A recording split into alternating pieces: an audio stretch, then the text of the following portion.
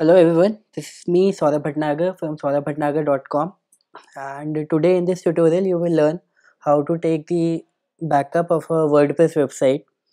Now first of all, why to take the backup of the WordPress website? Because it is very much important. The reason is because uh, WordPress releases its updates on a very regular basis and uh, sometimes you see the updates of uh, your plugins and sometimes the theme releases its uh, updated version. So every time you update your uh, theme or your plugin so it makes some changes to your website. And uh, sometimes although very rarely but sometimes it happens that a certain change in your plugin or in the new version of WordPress sometimes a change can actually affect your website and uh, it won't function or behave as properly as it was behaving in the earlier version. So it is better it is good to take the backup of your website and uh, keep it with yourself. And uh, sometimes if these kind of things happen then we should have the backup. So in this tutorial you will learn how to take the backup of your wordpress website.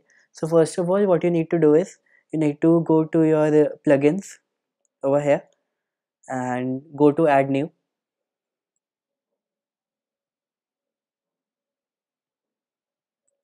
Over here you need to type back wp UP back wp up.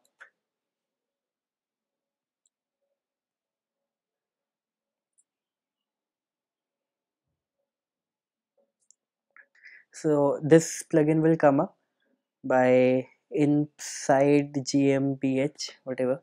And uh, to save some time i have already installed this plugin so i won't do it. And uh, if you are a uh, newbie so if you want to know how to install the plugin i will provide a link below. And uh, this plugin you have to install.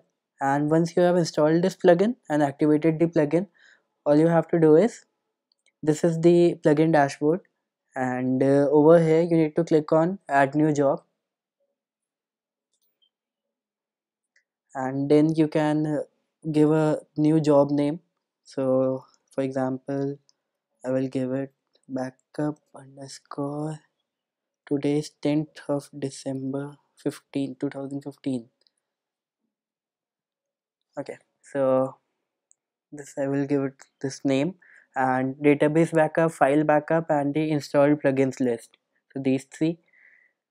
And uh, you can uh, download it in any format like .zip, .tar, gzip. So you can select any for format. And uh, there are options where you want to send this to. For example you want to send this to a particular folder or to FTP or to Dropbox directly onto Dropbox. Or you can send it via mail but this I won't recommend because sometimes the file size is size is too large that the mail won't accept it. So what you can do is you can uh, back up to a particular folder and over here you will see that a new menu will come up new tab will come up to folder. So I will click on this and you can change where do you want to now store it but uh, okay we'll keep it this way and uh, now what you have to do is you just need to click on run now. And your backup will start uh, processing. So over here as you can see the backup work uh, it has already started. And it will take like uh, it will depend on the amount of content which your site has. My site is not having a lot of content as of now so it will this work will be done quite early. But it will depend but uh, your work will be done. So it's a good thing to do.